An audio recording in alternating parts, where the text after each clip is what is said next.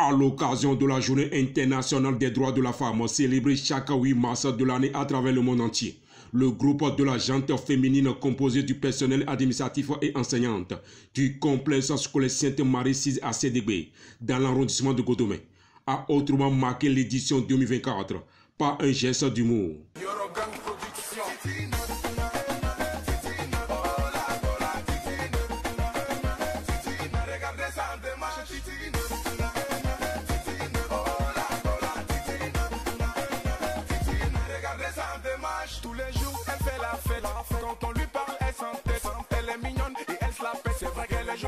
Rien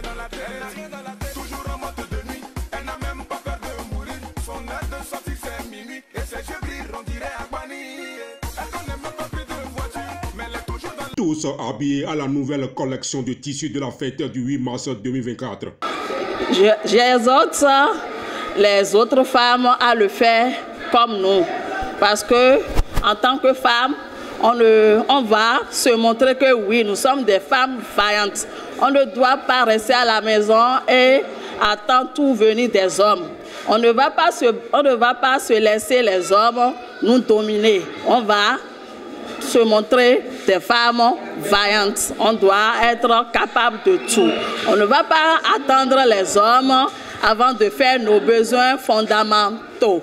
C'est également le moment choisi par cette brave femme de rappeler les droits les plus élémentaires d'une femme libérale.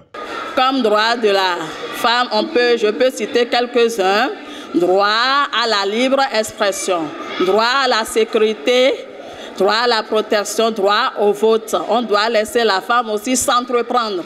Bonne fête à toutes les femmes du monde entier, en particulier celles du Bénin.